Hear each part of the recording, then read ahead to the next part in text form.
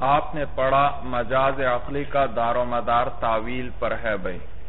اگر تعویل ہے تو مجاز عقلی ہے، اگر تعویل نہیں تو مجاز عقلی نہیں، بلکہ حقیقت عقلیہ ہے۔ تو کل کے سبق میں مصنف نے بتعولن کی قید کا فائدہ ذکر کیا تھا۔ اور بتلایا تھا کہ بتعولن کی قید کے ساتھ جاہل کافر کا اس قسم کا قول خارج ہو جاتا ہے۔ جیسے کہ وہ کہتا ہے، ام بطر ربیع البقلہ، بہار نے سبزہ اگایا، یہ خارج ہو جاتا ہے، مجاز عقلی سے اور حقیقت عقلیہ میں داخل ہو جاتا ہے۔ اس لیے کہ یہ قول اگرچہ یہاں پر اسناد واقع کے اعتبار سے ما ہوا لہو کی طرف نہیں ہو رہا، بلکہ کس کی طرف ہو رہا ہے؟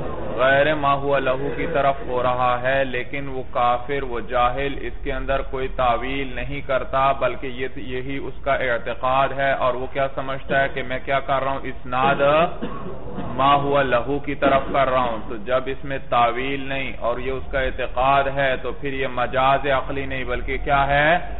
تو تعولن کی قید سے یہ مجاز عقلی سے اس قسم کے قول نکل گئے جو اعتقاد کے تو مطابق ہوں، لیکن واقع کے مطابق نہ ہوں۔ اور نیز اس سے اقوال قاذبہ بھی خارج ہو جاتے ہیں مولانا، جو واقع کے مطابق بھی نہیں ہوتے اور اعتقاد کے مطابق بھی نہیں ہوتے۔ اس لیے کہ وہاں پر وہ کوئی وہ وہاں پر کیا ظاہر کرنا چاہتا ہے؟ ظاہر حال اس کا کیا بتلا رہا ہوتا ہے متکلم کا؟ کہ وہ اسناد کس کی طرف کر رہا ہے؟ وہ تو دوسرے کو بتلانا نہیں چاہتا، اس کو غلط خبر دینا چاہتا ہے، تو ظاہر وہ یہی کرتا اس کا ظاہر حال یہی بتلاتا ہے کہ وہ اسناد کس کی طرف کر رہا ہے؟ ما ہوا لہو کی طرف کر رہا ہے بھائی۔ تو اس سے اقوال قاذبہ بھی خارج ہوتے تھے اور اس قسم کے اقوال بھی خارج ہوتے تھے جو اعتقاد کے تو مطابق ہوں لیکن واقع کے مطابق نہ ہوں۔ یہ قید مصنف نے کیوں ذکر کیا؟ علامہ تفتازانی نے آپ کو بتلایا کہ مصنف کی عادت نہیں ہے کہ وہ فوائد قیود ذکر کریں، لیکن یہاں پر وہ تعریض کرنا چاہتے تھے۔ علامہ سکاکی پر اس لیے اس قید کو ذکر، اس قید کا فائدہ ذکر کیا بھائی۔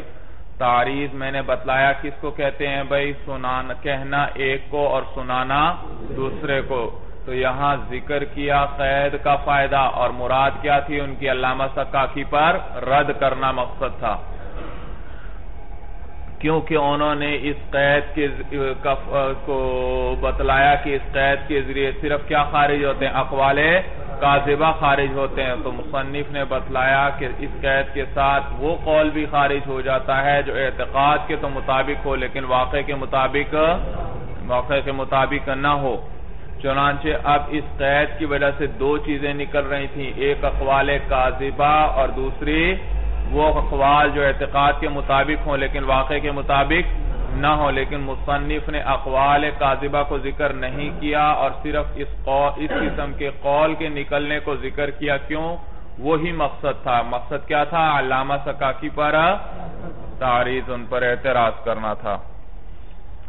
چنانچہ جب آپ کو یہ پتا چل گیا کہ مجاز عقلی کا دار و مدار تعویل پر ہے، تعویل ہے تو مجاز عقلی ہے، تعویل نہیں تو مجاز عقلی بھی نہیں۔ لہذا مصنف نے آپ کو بتلایا کہ اشاب الصغیر و افن الكبیر کر الغداتی و مر العشی، اس قسم کا قول جس میں اسناد غیر ماہو لہو کی طرف ہو رہا ہو واقع کے اعتبار سے اس پر آپ مجاز عقلی ہونے کا حکم نہیں لگا سکتے جب تک آپ کو پتہ نہ چل جائے کہ متکلم جو ہے اس کا اعتقاد اس کے اس کے ظاہر کا اعتقاد نہیں رکھتا۔ جب آپ کو پتا چل جائے کہ اس کا ظاہر کا اس کا بھی اعتقاد نہیں ہے، جیسے یہاں پر مولانا بچے کے جوان ہونے اور بوڑھے کے فنا ہونے کا اسناد کس کی طرف کیا ہے؟ دن اور رات کے گزرنے کی طرف۔ تو اب آپ کہیں یہ مجاز عقلی ہے؟ کہتے ہیں نہیں، جب تک آپ کو یہ پتہ نہ چل جائے کہ یہ کس کی طرف کر رہا ہے اسناد، غیر ما ہوا لہو کی طرف۔ اور اس کا پتہ کیسے چلے گا؟ ہمیں یہ علم ہو کہ مومن کہہ رہا ہے یا کافر کہہ رہا ہے بھائی؟ اگر مومن کہہ رہا ہے تو پھر تو یقیناً اس کا کیا عقیدہ ہے کہ یہ فیض کس کا ہے؟ اللہ تعالیٰ کو۔ تو اسناد کس کی طرف ہوا؟ غیر ما ہوا لہو کی طرف۔ پھر آپ حکم لگائیں گے بھائی۔ جیسے اگلے شعر کے اندر مولانا میزہ کا اسناد ہوا، جذب اللیالی کی طرف کہ جدا کر دیا، بالوں کو میرے سر سے کس چیز نے جدا کر دیا؟ جی زمانے کے گزرنے نے۔ اب یہاں پر یہ میزہ کا اسناد جو جذب اللیالی کی طرف ہوا، یہ اسناد ہے غیر ماہو لہو کی طرف۔ اور اس کا پتہ کہ غیر ماہو لہو کی طرف واقع کے اعتبار سے بھی اور متکلم کا بھی یہ اعتقاد نہیں ہے۔ اس کا پتہ ہمیں اگلے شعر سے چلا۔ تو اس شعر سے استدلال کرتے ہوئے ہم نے کیا حکم لگا دیا کہ یہ کیا ہے؟ مجاز عقلی ہے بھائی۔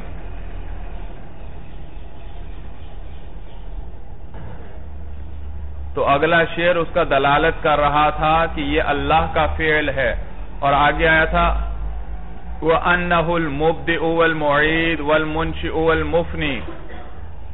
میں نے آپ کو بتلایا تھا کہ یہاں لفظ آیا مبدع قرآن میں مبدع آتا ہے المبدع والمعید۔ میں نے بتلایا تھا آپ کو کہ بدعا یہ مجرد سے استعمال ہوتا ہے، باب افعال سے استعمال نہیں، کلام عرب کے اندر۔ لیکن قرآن میں تو آیا ہے باب افعال سے، اور تو باب افعال مستعمل نہیں، جب مستعمل نہیں تو یہ کلمہ کیا بن جاتا ہے؟ غیر فصیح بن جاتا ہے بھائی۔ تو اس پر اشکال ہوتا ہے مولانا کہ یہ تو قرآن میں کلمہ غیر فصیح آ گیا۔ میں نے بتلایا کہ بعض اوقات کلمہ غیر فصیح ہوتا ہے، لیکن اس وہ جوار میں آ جاتا ہے کسی ایسے فصیح کلمے کے جوار میں، جو اس کی وجہ سے اس کا حسن بہت زیادہ بڑھ جاتا ہے اور یہ غیر فصیح بھی کیا بن جاتا ہے؟ فصیح بن جاتا ہے۔ تو یہاں پر اصل اگر باب فعال نہ ہوتا تو کیسے کہا جاتا؟ وہ انہل باد اول معید اب آپ بتلائیے آپ بھی کہ باد اول معید میں حسن زیادہ ہے یا المبد اول معید میں حسن زیادہ ہے؟ المبد اول معید سننے سے ہی پتہ چل رہا ہے بھائی۔ تو یہ المعید کے ساتھ آنے کی وجہ سے المبدی کے اندر بھی کیا آ گیا مولانا بے انتہا حسن آ گیا بھائی۔ والمنشئ والمفنی پیدا کرنے والا ہے اور فنا کرنے والا ہے فیقون الاسناد الى جذب اللیالی بتعول علا انہو زمان او سبب، تو اسناد جو جذب اللیالی کی طرف ہوا، اس تعویل پر ہے کہ یہ زمانہ ہے یا سبب ہے۔ سبب ہونا تو ظاہر مولانا، جدا کر دیا زمانے کے گزرنے نے۔ تو زمانے کا گزرنا کیا ہے؟ سبب ہے سبب ہے۔ اور ساتھ انہوں نے زمانہ کہا بھائی زمانے کا گزرنا یہ تو زمانہ نہیں، یہ تو ظرف نہیں۔ تو بتلایا مولانا آپ کو کہ یہاں جذب اللیالی میں صفت کی اضافت ہو رہی ہے موصوف کی طرف۔ جذب صفت ہے، اس کی اضافت موصوف اللیالی کی طرف کر دی گئی۔ تو اصل کلام کیا ہے؟ اللیال الجاذبہ۔ اللیال الجاذبہ اور لیالی تو ظرف ہے۔ کیا ہے؟ ظرف ہے۔ تو یہ مولانا زمانہ بن گیا۔ جب اس طرح آپ کر لیں گے، کلام کو اپنی اصل پر لے جائیں گے، تو یہ زمانہ ہے۔ جبکہ آپ کیا بنا دیں؟ اس کو صفت کو اپنے محل پر لے جائیں۔ اور ویسے کیا بن جاتا ہے؟ سبب رہے گا بھائی۔ ابھی تک مولانا آپ پڑھ رہے تھے۔ حقیقت عقلیہ اور مجاز عقلی کے بارے میں۔ اور حقیقت عقلیہ اور مجاز عقلی، یہ کس کی قسمیں ہیں؟ اسناد کی قسمیں ہیں۔ کس کی قسمیں ہیں؟ اسناد کی۔ اور اسناد کس کے درمیان آئے گا؟ مسند اور مسند علیہ کے درمیان۔ مسند اور مسند علیہ سمجھ میں آئے جبکہ مسند کیا ہو؟ فیل ہو یا معنی فیل ہو۔ آج آپ کو حقیقت لغویہ اور مجاز لغوی کے بارے میں بتلائیں گے۔ پہلے پڑھا تھا حقیقت عقلیہ، اب کیا بتلائیں گے؟ حقیقت لغویہ۔ پہلے پڑھا تھا آپ نے مجاز عقلی، اب آپ کو کیا بتلائیں گے؟ مجاز لغوی۔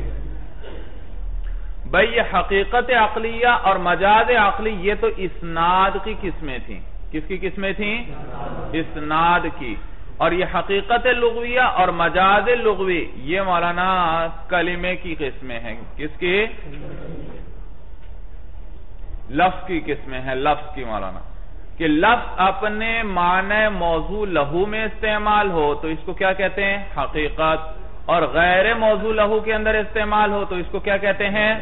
مجاز کہتے ہیں۔ تو یہ لفظ کی قسمیں ہیں۔ سمجھ میں آیا بھائی؟ تو دیکھو اسناد دو دو کلموں کے درمیان، مسند اور مسند علیہ کے درمیان جو اسناد ہے مولانا، یہ اسناد یا تو کیا ہوگا؟ حقیقت عقلیہ ہوگا یا کیا ہوگا؟ مجاز عقلی۔ پھر یہ مسند اور مسند علیہ دونوں اپنے اپنے معنی موضوع لہو میں استعمال ہو رہے ہیں یا معنی غیر موضوع لہو میں استعمال ہو رہے ہیں۔ تو اگر معنی موضوع لہو میں استعمال ہو تو پھر ان کو کیا کہیں گے؟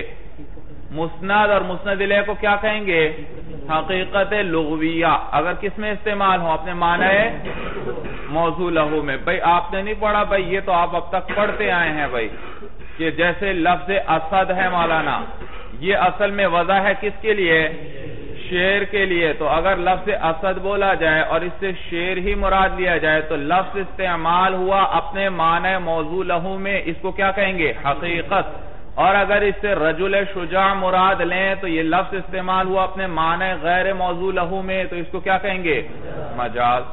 تو یہ حقیقت اور مجاز کس کی قسمیں لفظ کی قسمیں اور وہ حقیقت عقلیہ اور مجاز عقلیہ، وہ کس کی قسمیں وہ اسناد کی قسمیں بھائی۔ یہ بات سب کو سمجھ میں آ گئی بھائی؟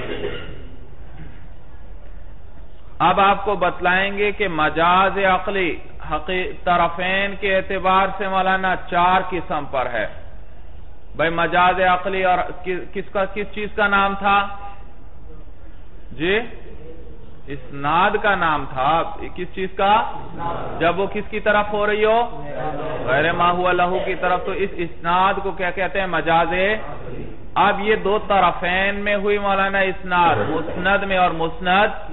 اب وہ مسند اپنے معنی موضوع لہو میں استعمال ہوگا یا معنی غیر۔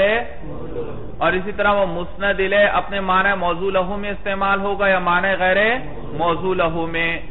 تو وہ مسند حقیقت ہوگا یا مجاز؟ اسی طرح مسند علیہ حقیقت ہوگا یا مجاز؟ تو اس اعتبار سے مجاز عقلی کی چار قسمیں بن جاتی ہیں بھائی۔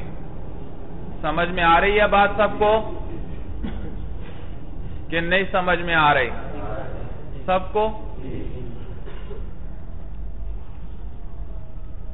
تو دونوں مسند اور مسند علیہ یا تو حقیقت ہوں گے یا دونوں مجاز ہوں گے۔ دونوں حقیقت ہوں تو یہ کیا ہوئی؟ ایک قسم یعنی اپنے معنی موضوع لہو میں استعمال ہو۔ مثلا مولانا، میں کہتا ہوں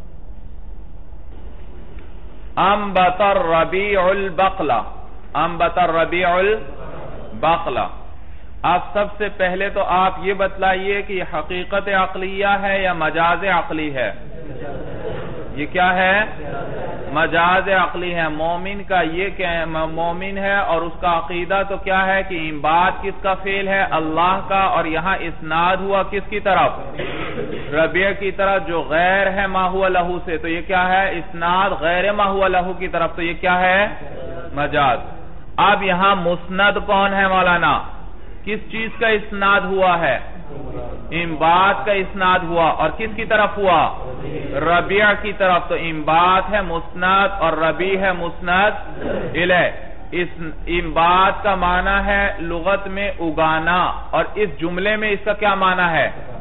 یہاں بھی اس کا وہی معنی ہے اگانا. تو یہ لفظ مسند اپنے معنی موضوع لہو میں استعمال ہوا. تو یہ کیا ہے؟ حقیقت لغویہ. یہ کیا ہے؟ اور ربیع لغت میں کہتے ہیں بہار کو، اور یہاں بھی کس معنی میں استعمال؟ اپنے معنی موضوع لہو ہی میں استعمال۔ تو یہ کیا ہے؟ حقیقت لغویہ بھائی۔ اسناد جو ہے امباد کا ربیع کی طرف، وہ تو کیا ہے؟ مجاز عقلی۔ لیکن امباد اپنے معنی میں استعمال، مسند، تو یہ کیا ہے؟ حقیقت لغویہ۔ اور مسند علیہ ربیع یہ اپنے معنی موضوع لہو میں استعمال، تو یہ کیا ہے حقیقت ہے؟ لغویہ بھائی، تو یہ پہلی قسم ہوئی بھائی۔ دوسری مثال مولانا، کہ دونوں مجاز ہوں۔ جیسے میں کہتا ہوں، احیل ارض شباب الزمانی۔ زندہ کر دیا زمین کو زمانے کی جوانی نے۔ اب زمین کو زندہ کرنا، بھائی زندہ کرنے کا معنی یہ ایک چیز کو زندگی دے دینا، اس میں حص کا پیدا کر دینا، حرکت آ جانا بھائی اس میں۔ اب زمین کے زندہ کرنے سے کیا مراد ہے؟ اس پر سبزے کا اگنا بھائی، اگانا۔ اس پر سبزے کا اگانا۔ تو یہاں پر احیاء کا حقیقی معنی ہے زندہ کرنا، لیکن یہاں پر کیا مراد ہے؟ اگانا تو یہ اپنے معنی موضوع لہو میں استعمال ہوا یا غیر موضوع لہو میں؟ غیر موضوع لہو میں۔ یہ تھا مسند۔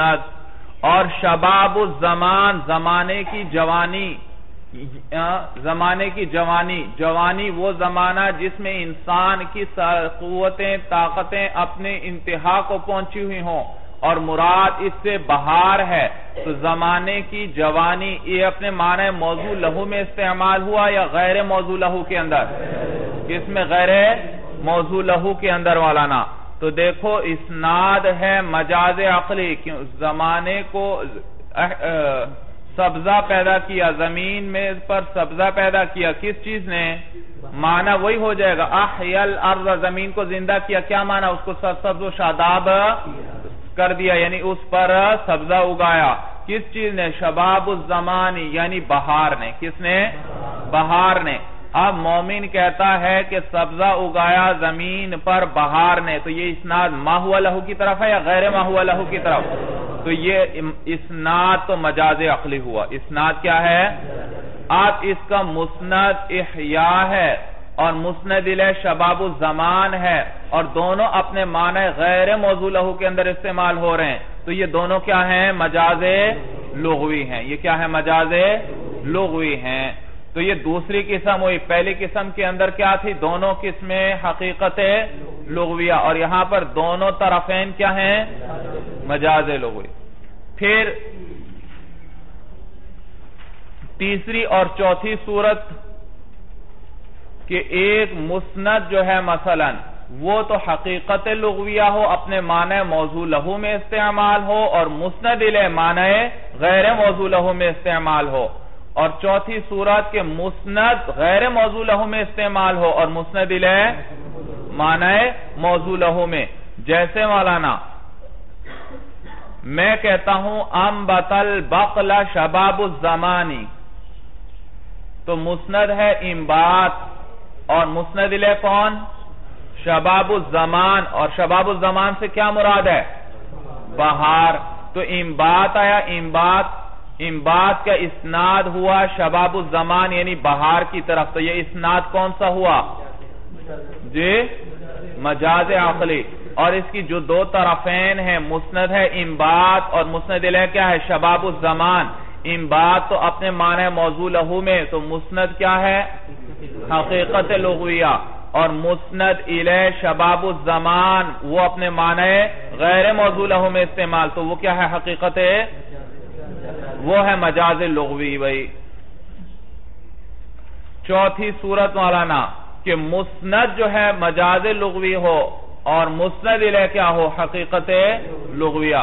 جیسے احیل ارض الربیع۔ تو احیاء سے کیا مراد ہے یہاں؟ سرسبز کرنا، اگانا۔ تو احیاء اپنے معنی تو احیاء اگانے کی نسبت کر دی مولانا ربیع کی طرف بھائی۔ کس کی طرف؟ ربیع کی طرف بھائی۔ تو یہ کون سا اسناد ہوا؟ مجاز عقلی۔ اور احیاء اپنے معنی موضوع لہو میں یا غیر موضوع لہو میں؟ غیر موضوع لہو میں۔ تو یہ کیا ہوا؟ مسند کیا بن گیا؟ مجاز لغوی۔ اور ربیع اپنے معنی موضوع لہو میں تو وہ کیا بن گیا؟ جی یہاں تک سب کو بات سمجھ میں آ گئی۔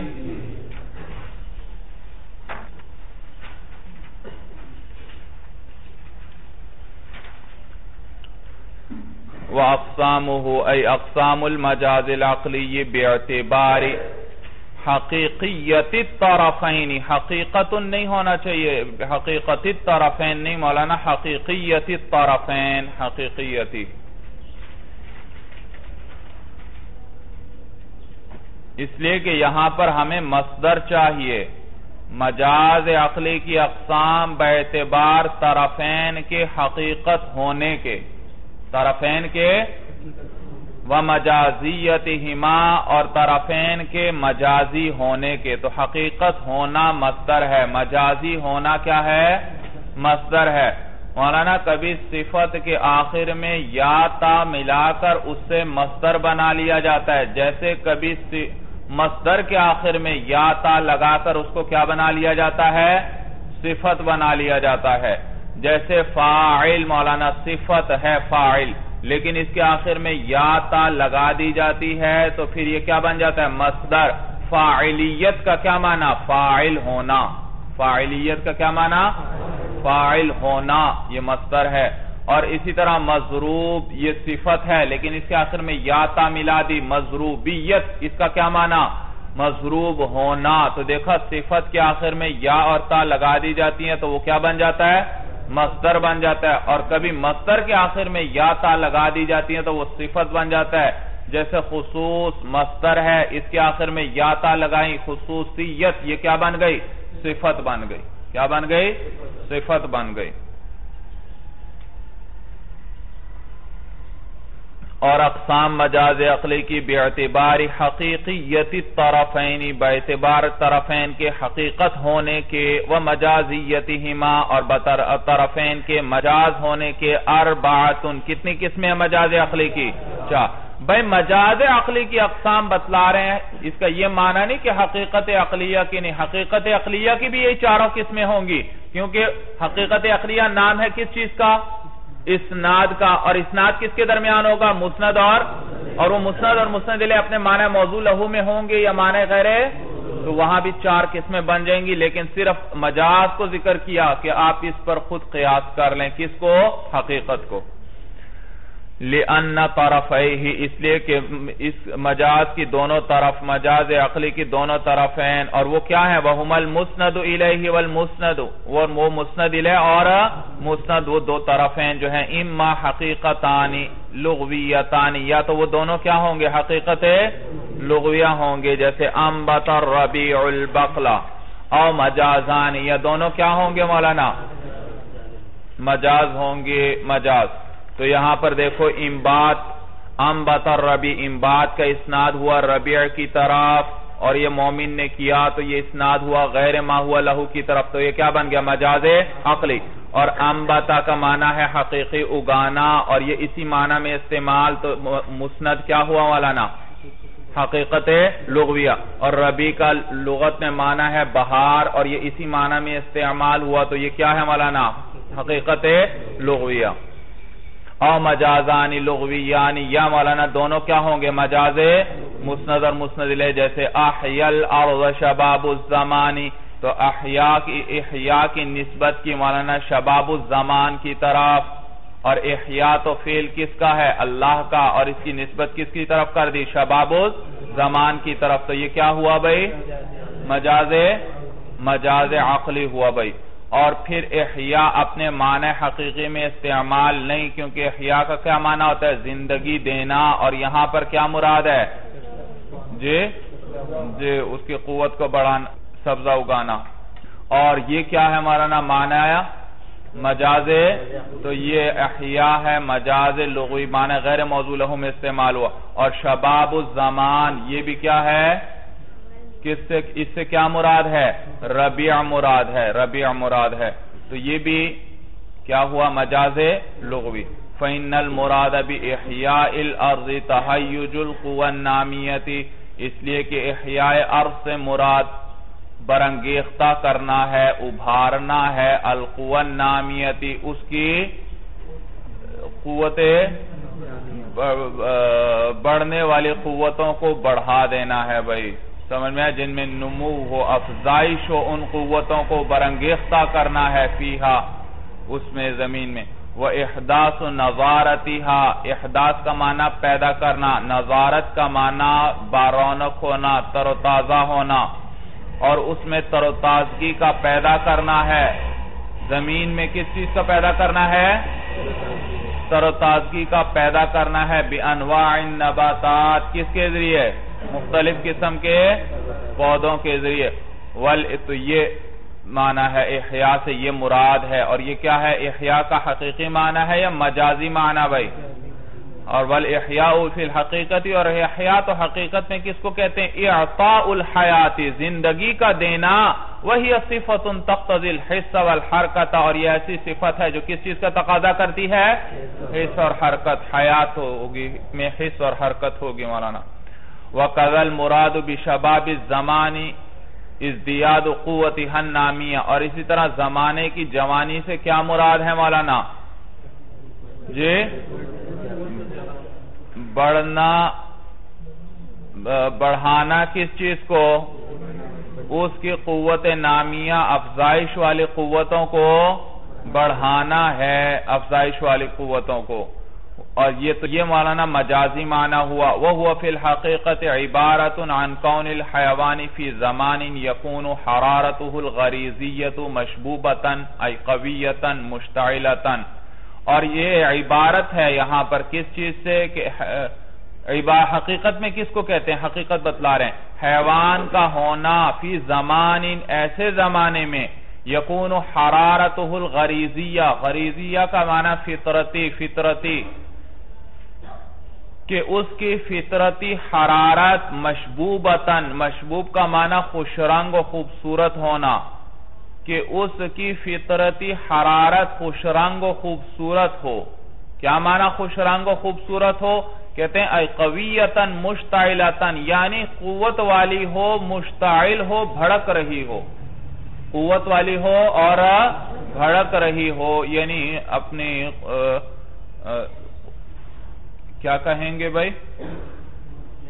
قوی ہو، عروج پر ہو، عروج پر ہو۔ او مختلف یا دونوں کیا ہوں گے بھائی؟ مختلف ہوں گے۔ کون دونوں مختلف ہوں گے بھائی؟ طرفین اس کی جی۔ بِأَن يَكُونَ أَحَدُ الطَّرَفَيْنِ حَقِيقَةً وَالْآخَرُ مَجَازًا، کہ ایک طرفین میں سے ایک حقیقت ہوگی اور دوسری مجاز۔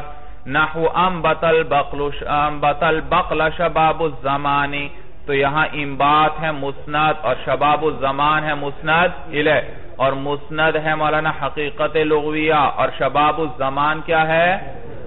مجاز لغوی۔ فیم المسند حقیقت، جس میں مسند حقیقت ہے، والمسند الیہ مجاز، اور مسند الیہ کیا ہے؟ او احی الارض الربیع، یا یہاں پر مولانا احیاء مسند جو ہے وہ کیا ہے؟ مجاز لغوی اور الربیع جو مسند الہ ہے وہ کیا ہے؟ حقیقت لغویہ۔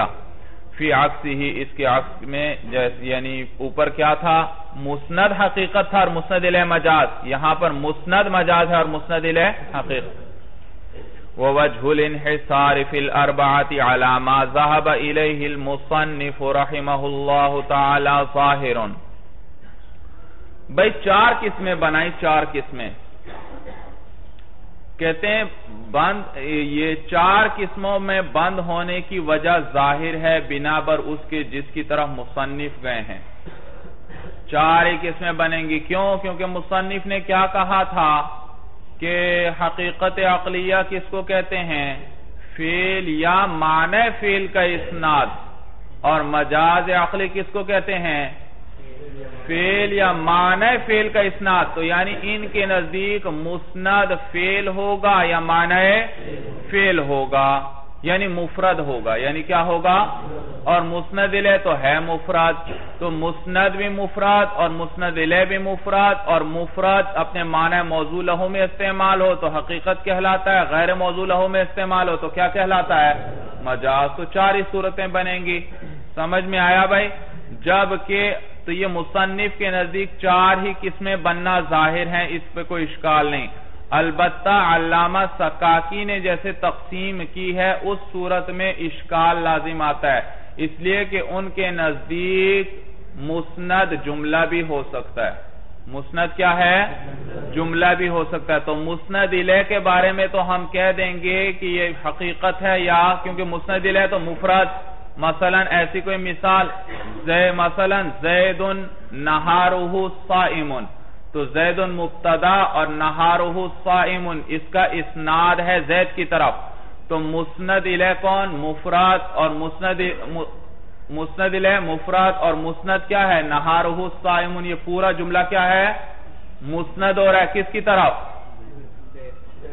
زید کی بھائی زید مبتدا ہے نہارہ صائم پورا جملہ اس کی خبر۔ تو جی، یہ خبر کیا ہوتی ہے؟ مسند۔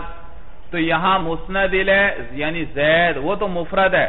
لیکن مسند جو ہے نہارہ قائم یہ تو مفرد نہیں۔ یہ تو مفرد نہیں۔ جب مفرد تو مفرد ہوتا تو اس کو ہم بتاتے۔ کہ معنی موضوع لہو میں استعمال ہو رہا ہے، حقیقت ہے، یا معنی غیر موضوع لہو میں استعمال ہو رہا ہے تو یہ کیا ہے؟ مجاز۔ لیکن یہاں تو جملہ ہے، تو لہذا اس صورت میں پھر چار کے اندر بند نہیں ہو سکتا تھا بھائی۔ سمجھ میں آیا؟ اور یہاں تو مسند ہمیشہ مفرد ہوگا۔ اور مفرد جب مستعمل ہو معنی موضوع لہو میں تو حقیقت کہلاتا ہے۔ اور جب استعمال ہو کس کے اندر معنی ہے غیر موضوع لہو میں تو کیا کہلاتا ہے؟ مجاز۔ تو مفرد پر تو حقیقت اور مجاز ہونے کا حکم آپ لگا سکتے ہیں۔ جملے پر حقیقت یا مجاز ہونے کا حکم نہیں لگا سکتے۔ وَوَجْهُ الْإِنْحِسَارِ فِي الْأَرْبَعَةِ اور یہ مجاز عقلی کا بند ہونا چار صورتوں میں علامہ ذہب الیہ المصنف ظاہر، جس کی طرح مصنف گئے ہیں مولانا، یہ تو ظاہر ہے، یہ بند ہونے کی وجہ چار میں ظاہر ہے لِأَنَّهُ اشْتَرَتَ فِي الْمُسْنَدِ اَنْ يَكُونَ فِعْلًا اَوْ مَا فِي مَعْنَاهُ اس لیے کہ مصنف نے شرط لگائی تھی مسند میں کہ وہ فیل ہوگا یا معنی فیل ہوگا۔ فیقون مفردان تو مسند کیا ہوا؟ مفرد مسند لے ہے مفرد اور مسند بھی کیا بن گیا؟ مفرد وکل مفرد مستعمل اما حقیقت او مجاز اور ہر وہ مفرد جو مستعمل ہو، یا تو وہ حقیقت ہوگا یا کیا ہوگا؟ مجاز۔ مفرد کے بعد مستعمل کی قید لگائی۔ کیوں؟ کیونکہ یہ حقیقت اور مجاز استعمال کے اعتبار سے کس میں ہیں؟ لفظ معنی موضوع لہو میں استعمال ہو تو کیا کہلائے گا؟ حقیقت. غیر موضوع لہو میں استعمال ہو تو کیا کہلائے گا؟ مجاز. استعمال سے پہلے آپ اس کو حقیقت یا مجاز نہیں کہہ سکتے۔ بات سمجھ میں آئی بھائی؟ وَهُوَ الْمَجَازُ الْعَقْلِيُّ فِي الْقُرْآنِ كَثِيرٌ اور وہ یعنی ضمیر کا مرجع بتلایا کہ مجاز عقلی جو ہے قرآن میں کثیر زیادہ ہے۔ اے کثیر فی نفسه لا بالاضافت الى مقابله بھئی زیادہ مجاز عقلی کا قرآن میں زیادہ ہونا کہتے ہیں اپنی ذات کے اعتبار سے زیادہ ہے۔ مقابل حقیقت عقلیہ کے اعتبار سے نہیں کہہ رہے کہ مجاز عقلی تو زیادہ ہے اور حقیقت عقلیہ کیا ہے؟ کم ہے۔ اس کے مقابلے میں کہیں گے تو پھر تو یہ مانا ہو جائے گا مجاز عقلی زیادہ ہے اور حقیقت عقلیہ کم ہے۔ نہیں، یہ اس کے مخفی نفس ہی یعنی مجاز عقلی بھی قرآن میں زیادہ ہے۔ ای کثیر فی نفسی یعنی کثیر ہے اپنی ذات کے اعتبار سے، لا بالاضافت الى مقابلی ہی اپنے مقابل کی طرف کی نسبت سے نہیں مولانا، حتی یکون الحقیقت العقلیت قلیلتا، تاکہ حقیقت عقلیہ کیا ہو جائے؟ مقابل کے اعتبار سے ہو، تو پھر تو حقیقت عقلیہ کیا ہو جائے گی؟ جب مجاز کثیر ہوا تو حقیقت کیا ہوئی قلیل، کہتے ہیں نہیں یا مقابلہ نہیں ہے۔ ویسے بتلا رہے ہیں کہ مجاز عقلی قرآن میں کیا ہے؟ زیادہ آیا ہے۔ اچھا جی فی القرآن متعلق ہے مولانا کثیر کے ساتھ۔ کیونکہ جار مجرور کتنی آٹھ چیزوں میں سے کسی ایک کے ساتھ ضرور متعلق ہوتے ہیں۔ تو یہ کہاں کثیر کے ساتھ متعلق ہے؟ تو پھر اس کو مقدم کیوں کیا؟ اس کو کیا ہونا چاہیے تھا؟ کثیر پر مؤخر، کیونکہ کثیر عامل ہے فی فی القرآن میں مولانا اور عامل پہلے آیا کرتا ہے اور معمول بعد میں اور یہاں آپ نے اس کو مقدم کر دیا اور اس کا حق کیا تھا؟ اس کو کہاں لایا جاتا؟ مؤخر و تقدیم ما حق التاخیر یفید الحصر والقصر والتقصیر جس کا تو یہاں آپ نے اس کو مقدم کر دیا تو کیا فائدہ ہونا چاہیے؟ حصر کا۔ حصر کا۔ تو بتلا رہے نہیں بھئی یہاں جو مقدم کیا، حصر کے لیے نہیں کیا۔ بلکہ کس لیے؟ صرف مجرد اہتمام کے لیے، اہمیت دینے کے لیے مولانا فی القرآن کو کیا کر دیا؟ کثیر پر مقدم کر دیا اہمیت کے لیے۔ سمجھ میں آیا؟ قرآن کا ذکر آئے تو اہمیت کے لیے مقدم کر دیا۔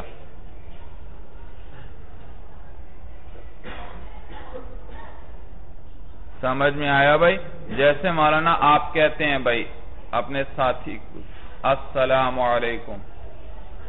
تو السلام مبتدا علیکم اس کی خبر۔ لیکن جواب میں آپ کیا کہتے ہیں؟ جواب میں وہ کیا کہتا ہے؟ وعلیکم السلام۔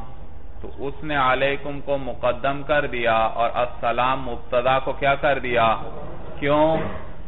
تخصیص کے لیے نہیں کہ تم ہی پر سلامتی ہو اور کسی پہ نہ ہو، بلکہ صرف مجرد اہتمام کے لیے۔ کس کے لیے؟ اہمیت دینے کے لیے۔ آپ کے ذکر، مخاطب کے ذکر کو مقدم کر دیا۔ وہ تقدیم وہ تقدیم فی القرآنی یہ فی القرآن کا لفظ مراد ہے۔ یہ فی القرآن کی جو تقدیم ہے علا کثیر کس لفظ پر؟ لفظ کثیر پر لمجرد لمجرد الاہتمامی. کس لیے ہے مولانا مجھے صرف اہتمام کے لیے ہے، تخصیص کے لیے نہیں. وَإِذَا تُلِيَتْ عَلَيْهِمْ آيَاتُهُ أَيْ آيَاتُ اللَّهِ تَعَالَى زَادَتْهُمْ إِيمَانًا یہ مثال ہے مولانا. اور جب ان پر تلاوت کی جاتی ہیں، اللہ کی آیتیں زادت ہم زادت یہ اس بڑھا دیتی ہیں، یہ آیتیں ہم ان کے ایمان کو، یہ آیتیں کیا کر دیتی ہیں؟ ان کے ایمان کو بڑھا دیتی ہیں۔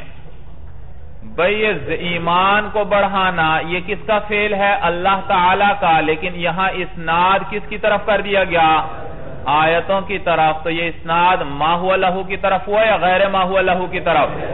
غیر ماہو لہو کی طرف تو دیکھو یہ مجاز عقلی ہے اور قرآن میں آیا ہے بھئی اور آیات کی طرف اسناد کیوں کیا گیا؟ کیونکہ وہ سبب ہے۔ وہ کیا ہے؟ سبب ہے ایمان کے بڑھنے کے۔ تو عجیب مولانا مصنف نے کمال کیا اس عبارت نے بھئی مصنف نے کیا کہا؟ بعض علماء ظاہریہ نے مولانا انکار کیا تھا۔ کہتے ہیں قرآن میں مجاز نہیں ہے۔ مجاز عقلی نہیں ہے۔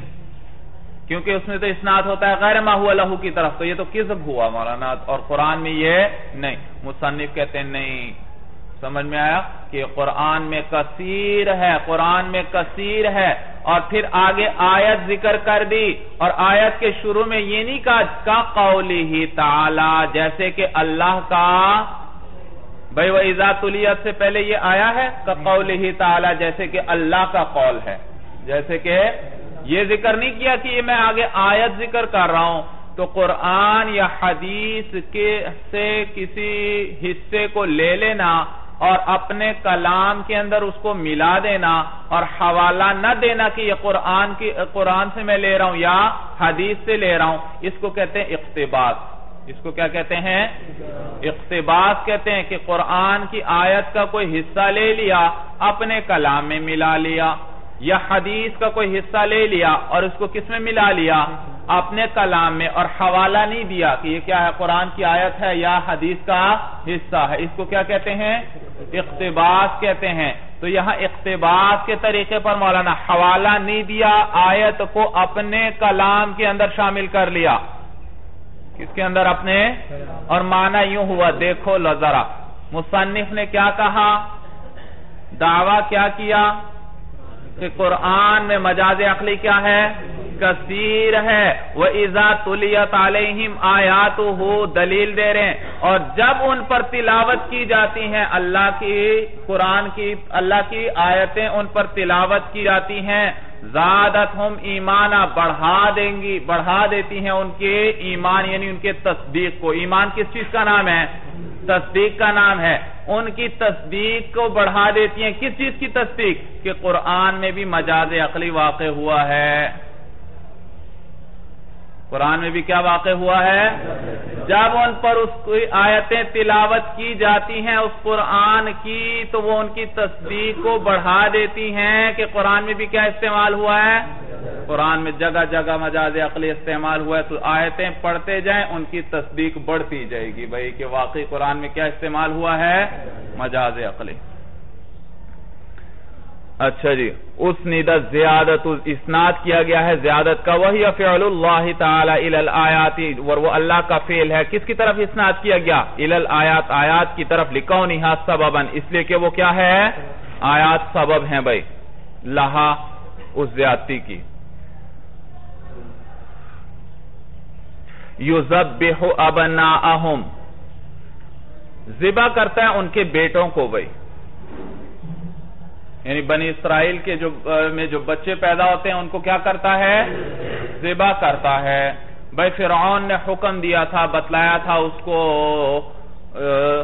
بتلایا گیا کہ بن اسرائیل میں ایک بچہ پیدا ہوگا اور وہ کیا کر دے گا؟ تمہاری حکومت کو ختم کر دے گا۔ اس نے حکم جاری کر دیا کہ جو بھی بچہ پیدا ہو، اس کو قتل کر دیا جائے۔ اب اس کے لشکر والے، کوئی بچہ پیدا ہوتا، اس کو قتل کر دیا کرتے تھے۔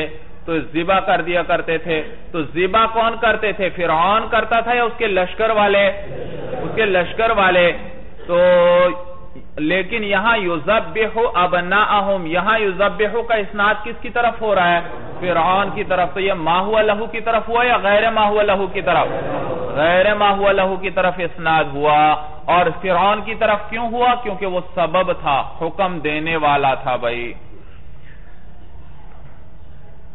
یوزبح ابناءہم زبا کرتا ہے ان کے بیٹوں کو. نصبت تذبیح الذی هو فعل الجیش الى فرعون، نسبت کی گئی ہے تذبیح کی جو فیل تھا لشکر کا فرعون کی طرف. لئنہو سبب آمیر اس لیے کیا وہ کیا ہے؟ سبب آمیر ہے، حکم دینے والا ہے. ما قبل میں بھی سبب تھا، لیکن وہ غیر آمیر اور یہاں بھی سبب اور یہ کیا ہے؟ آمیر ہے. ینزع عنہما لباسہما اتارتا ہے ان دونوں سے، ان دونوں کے لباس کو۔ بھئی حضرت آدم حضرت حوا علیہ السلام جنت میں تھے، شیطان آیا اور ان کو حکم ہوا تھا کہ فلاں درخت کا پھل نہیں کھانا۔ شیطان نے ان کے سامنے اللہ کی قسمیں اٹھائیں اور وہ انہوں نے ان کے تصور میں بھی نہیں تھا کہ کوئی اللہ کی قسم اٹھا کر بھی جھوٹ بول سکتا ہے۔ اور ان کو کہا، میں تمہارا خیر خواہ ہوں بھئی اس تمہیں تو صرف تھوڑی مدت کے لیے منع کیا گیا تھا اور وہ مدت گزر چکی ہے۔ اب یہ پھل کھا لو، تم ہمیشہ ہمیشہ پھر کیا رہو گے جنت کے اندر رہو گے انہوں نے یقین کر لیا اور اس درخت سے پھل کھا لیا۔ سمجھ میں آیا؟ وسوسہ پیدا کیا اس نے اور پھر درخت سے پھل کھا لیا۔ اور پھل کھانے کی وجہ سے ان کے لباس اتر گئے، وہ پھر پتوں وغیرہ سے اپنے بدن کو ڈھانپنے لگے۔ تو یہاں پر مولانا، اتارتا ہے، اتارا اتارتا ہے ان سے ان کے لباس کو۔ تو یہاں لباس کے اتارنے کی نسبت مولانا، کس کی طرف؟ ابلیس کی طرف کی گئی۔ حالانکہ یہ فیل ہے اللہ کا۔ یہ فیل کس کا ہے؟ اللہ کا۔ لباس کس نے اتار دیا ان کے؟ اللہ نے۔ بطور سزا کے۔ اور نسبت یہ کس کی طرف کر دی گئی؟ ابلیس کی طرف کر دی گئی مولانا۔ ابلیس کی طرف بھائی۔ ابلیس کی طرف۔ تو یہ اسناد کس کی طرف ہوا؟ غیر ما ہوا، لہو کی طرف یہ مجاز اقلیہ نصب نزع اللباس عن آدم و حوا علی نبینا و علیہم السلام۔ نسبت کی گئی ہے لباس کے اتارنے کی حضرت آدم و حوا علیہ السلام سے۔ وہ فعل اللہ تعالی اور حال یہ ہے کہ یہ فعل ہے کس کا؟ اس حال میں کہ اللہ کا فعل ہے تو نسبت کی گئی ہے اس کی الہ ابلیس کس کی طرف مولانا؟ ابلیس کی طرف لی ان سببہ الاقل اس لیے کہ اس کا سبب کیا تھا مولانا؟ اتارنے کا لباس کے جی؟ لباس کے اتار کھانا تھا۔ الاقل من الشجرتی کس سے؟ درخت سے۔ وسبب الاقل وسوستہ اور یہ کھانے کا سبب کیا تھا؟ شیطان کا وسوسہ ڈالنا، وسوسہ ڈالنے مطلب ورغلانا ورغلانا بھائی۔ سمجھ میں آیا؟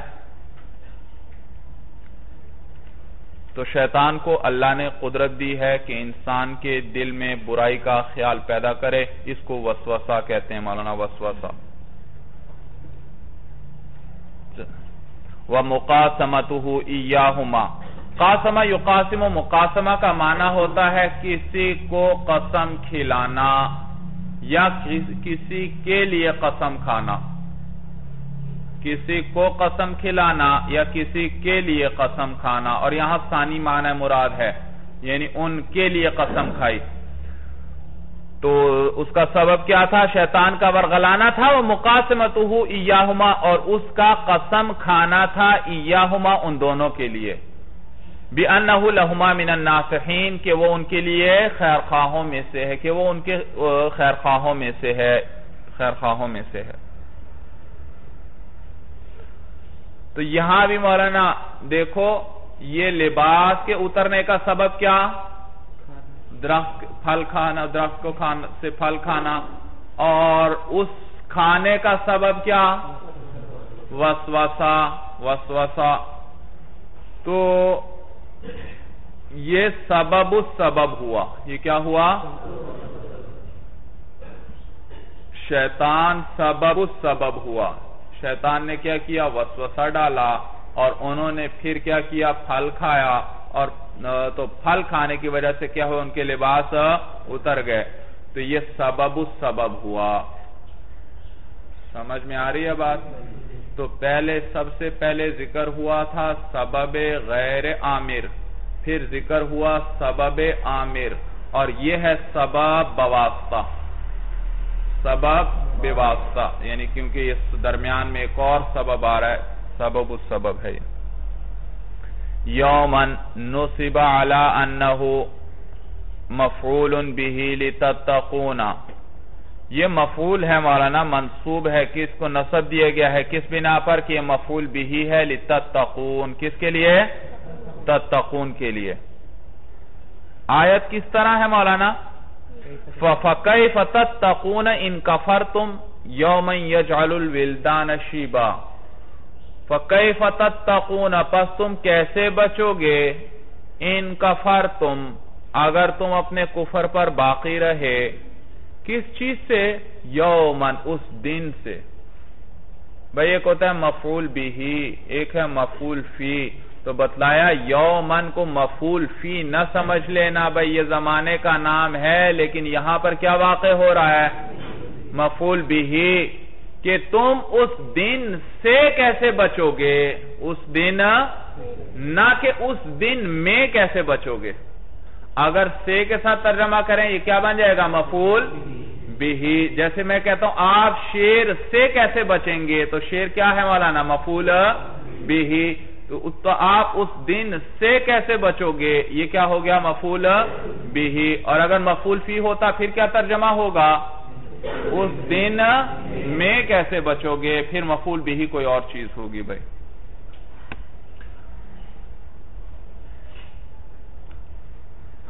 یہ تو یہ مفعول بھی ہے تقون کے لیے۔ ای کیف تتقون یوم القیامتی؟ یہ یوم القیامتی یہ مفعول فی ہے۔ تم کیسے بچو گے قیامت کے دن میں؟ ان بقی تم علی الکفری اگر تم باقی رہے کس پر؟ کفر پر۔ کس سے بچو گے؟ یومن آ رہا یہ مفعول بھی ہی ہے مولانا، جو پہلے بتلا چکے ہیں علامہ تقتدانی یومن یجعل الولدان شیبا، ایسے دن سے جو بنا دیتا ہے، بچوں کو بوڑھا بھائی بچوں کو کیا بنا دیتا ہے؟ بوڑھا بنا دیتا ہے۔ تو وہ دن جو بچوں کو بوڑھا بنا دے گا، اس دن سے تم کیسے بچو گے؟ سمجھ میں آیا بھائی؟ تو یومن کو کیا بنایا؟ تتقون کے لیے؟ مفعول بھی بنایا۔ اور مولانا، کفر تم کے لیے بھی احتمال ہے مفعول بھی بننے کا۔ پس تم کیسے بچو گے؟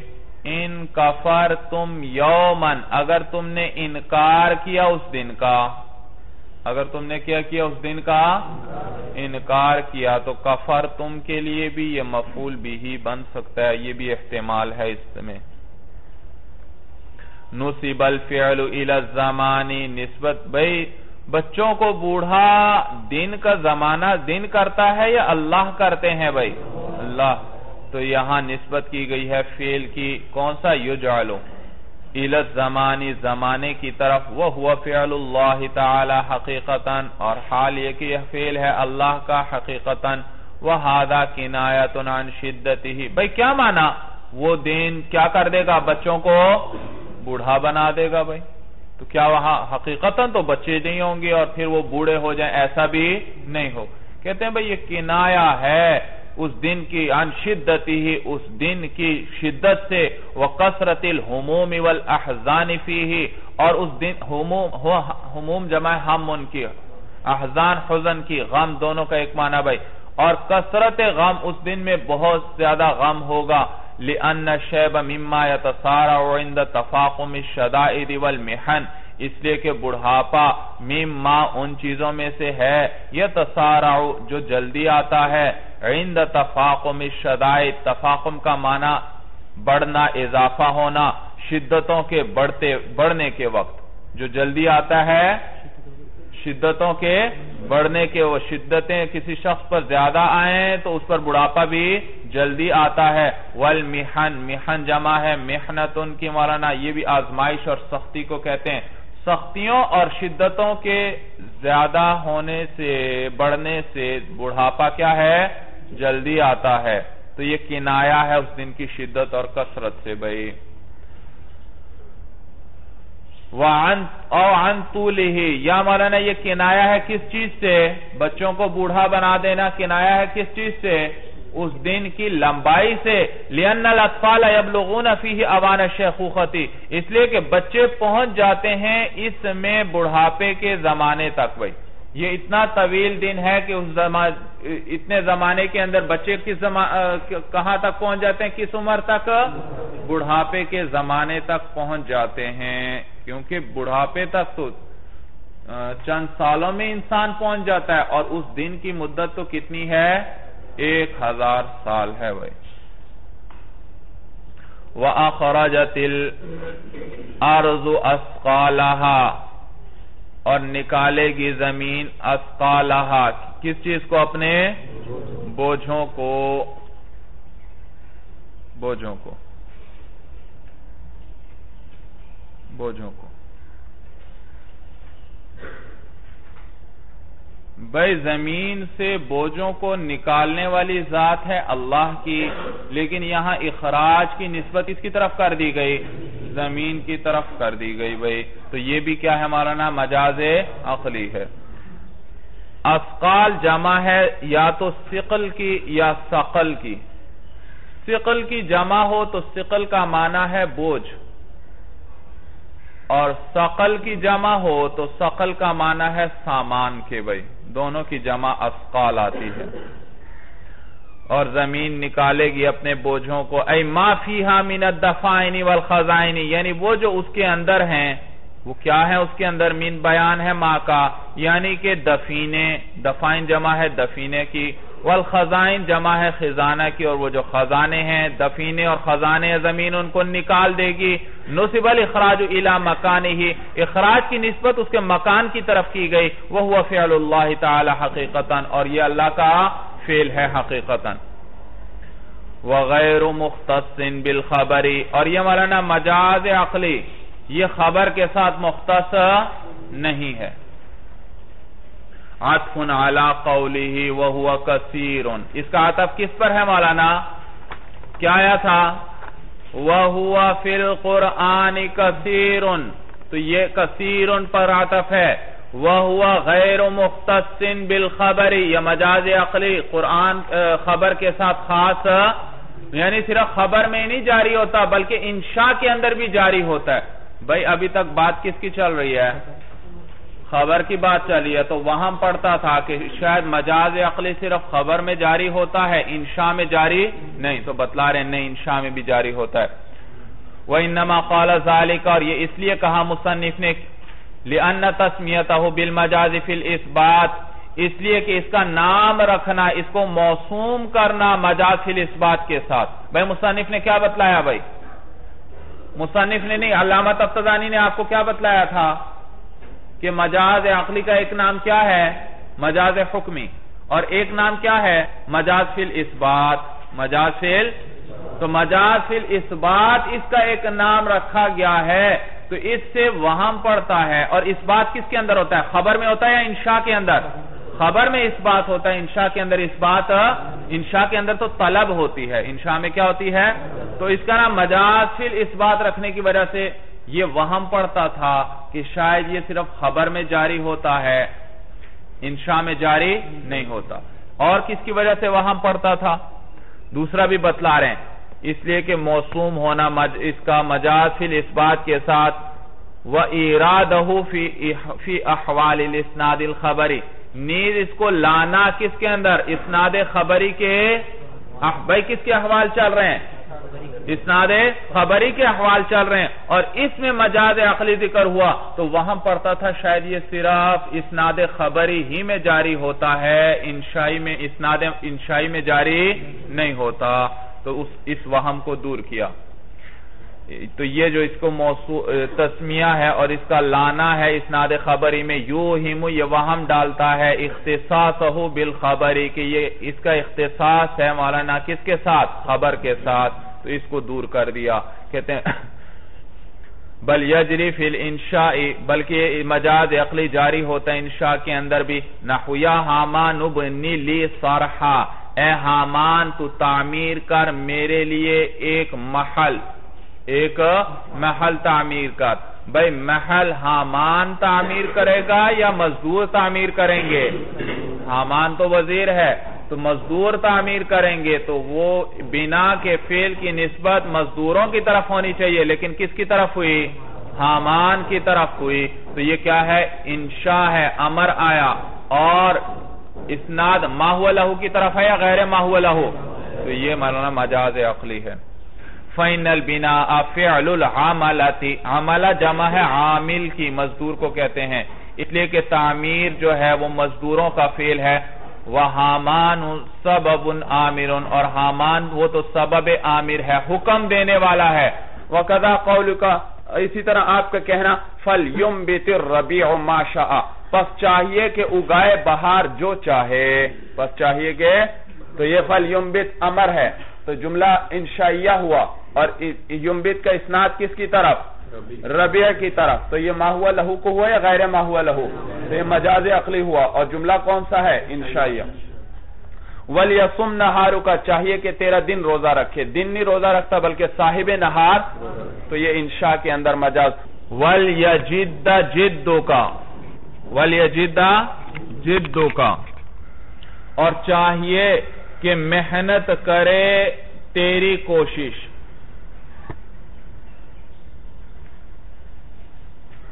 جد یا جدو کے معنی کوشش کرنا، محنت کرنا، اور جدن اسی سے مستر ہے بھائی۔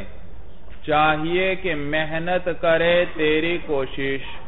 بھائی، محنت کوشش کرتی ہے یا صاحب کوشش کرے گا؟ صاحب کوشش تو اسناد ماہو لہو کی طرف ہو یا غیر ماہو لہو کی طرف؟ غیر ماہو لہو کی طرف تو یہ مجاز عقلی ہوا اور سیغہ ہے امر کا اور یہ معلوم ہوا انشاء ہے اور انشاء میں کیا آگیا مجاز؟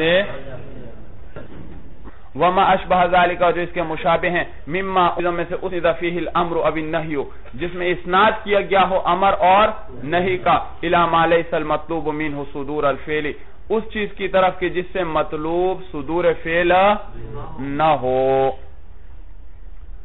صدور فیل اس سے مطلوب، جیسے حامان کو کہا میرے لیے محل بنا، حالانکہ محل بنانا حامان سے مطلوب تھا۔ جی تو جس سے صدور فیل مطلوب نہ ہو یا ترک فیل مطلوب نہ ہو وہ قدا قولو کا آپ کا اسی طرح آپ کا کہنا، لیتن نہر جارن۔ کاش کے نہر کیا ہوتی؟ جاری ہوتی۔ تو یہ تمنی ہے اور تمنی بھی انشاء ہے۔ وہ قولو تعالی افلاتو کا تعمرو کا کیا تیری نماز تجھے حکم کرتی ہے؟ تو یہ بھی کیا ہے؟ تامور کی نسبت کس کی طرف؟ نماز کی طرف ہے۔ اور ہے استفام اور استفام کیا ہے؟ انشاء هذا هو المرام۔ والله اعلم بحقيقه الكلام